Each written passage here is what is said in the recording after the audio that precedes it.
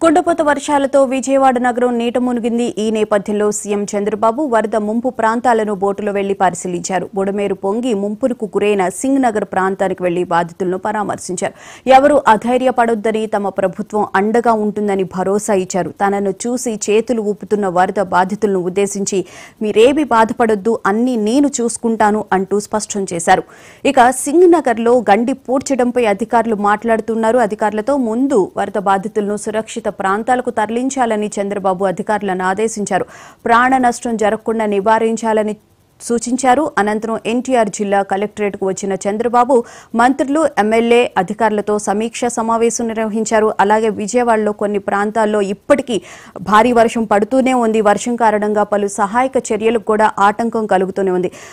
తెల్లవారుజామున మూడు గంటల వరకు ముఖ్యమంత్రి చంద్రబాబు నాయుడు వరద ప్రభావిత ప్రాంతాల్లో పర్యటించారు. మరోసారి క్షేత్రస్థాయి పర్యటనకు వెళ్ళడానికి రెడీ అవుతూ ఉన్నారు.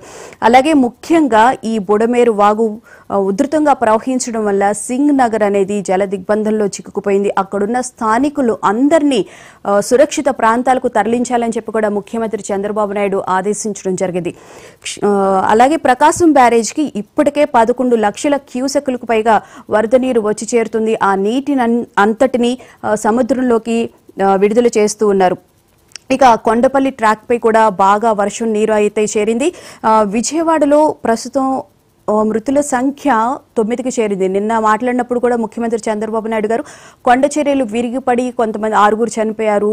ఇలా మృతుల సంఖ్య పెరగకుండా ఉంటే బాగుంటుంది దురదృష్టం అని చెప్పి కూడా చెప్పడం జరిగింది మన మాట్లాడినప్పుడు. అలాగే మ్, సింగ్ నగర్లో ఉన్న ప్రజలను సురక్షిత ప్రాంతాలకైతే తరలించడానికి ఇంకా అధికారులు అక్కడ కృషి చేస్తూనే ఉన్నారు. పదిహేడు వేల మంది దాకా సురక్షిత ప్రాంతాలకు రాష్ట్రంలోని అన్ని ప్రాంతాల్లోని వాళ్ళని సురక్షిత ప్రాంతాలకైతే తరలించడం జరిగింది.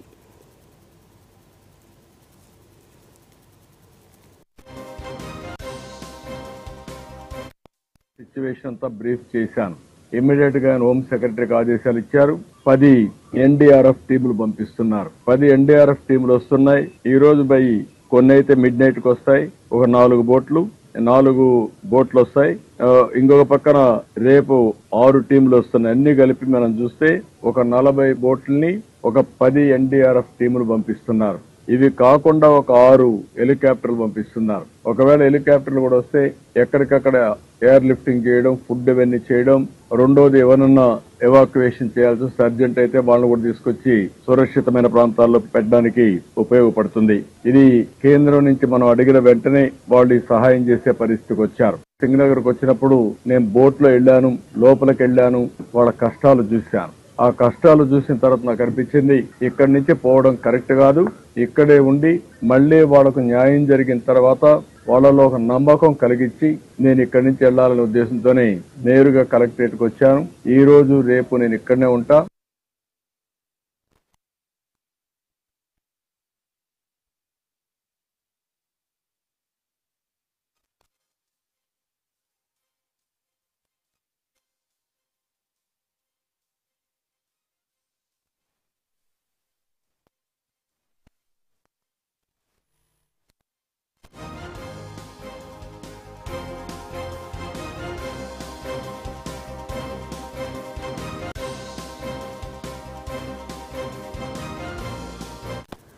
విజయవాడలో పలు ప్రాంతాల్లో ఇప్పటికీ భారీ వర్షాలు పడుతున్నాయి. వర్షం కారణంగా పలు సహాయక చర్యలకు ఆటంకం కలుగుతోంది. అలాగే ముఖ్యమంత్రి చంద్రబాబు నాయుడు నిన్న రాత్రి కేంద్ర హోం మంత్రితో మాట్లాడితే ఆయన స్పందించారు. తక్షణమే పది ఎన్డీఆర్ఎఫ్ బృందాలను పంపిస్తామని చెప్పారు. ఒక్కొక్క బృందంలో ఇరవై ఐదు మంది సభ్యులు ఉంటారు.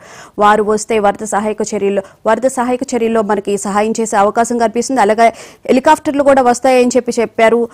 ఈ సమస్యలకు సంబంధించి వరద ప్రభావిత ప్రాంతాల్లో ఎవరైతే చిక్కు చిక్కుకున్నారో వాళ్ళు ఏ సమస్యలో ఉన్న వాళ్ళు ఫిర్యాదు చేయడానికి ఒక టోల్ ఫ్రీ నెంబర్స్ కూడా అక్కడ ఇవ్వడం జరిగింది. తెల్లవారుజామున మూడు గంటల వరకు ముఖ్యమంత్రి చంద్రబాబు నాయుడు వరద ప్రభావిత ప్రాంతాల్లోనే ఉన్నారు.